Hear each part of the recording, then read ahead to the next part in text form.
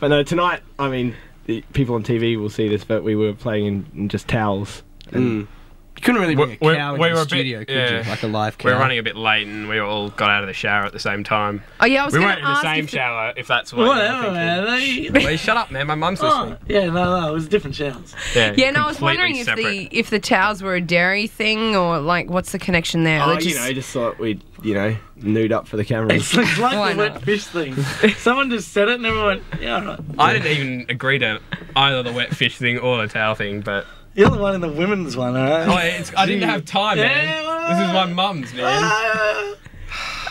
if anyone's listening at home, by the way, we're going to the Pancake Kitchen after this. Yeah, Yeah, come you on. come, Andrew Windsor. Yeah. Andrew Yeah. Windsor or anyone with Andrew similar names Windsor. or different names. The pancakes are on J1 tonight. Yeah, all on J1. Five dollar all you can eat night, so come down. And all you camera crew as shout. well and sound people, you're Yeah, all more than yeah. welcome. He wants to come in. JY shouting. Hey, Bianca, come I on, some money. any dinner.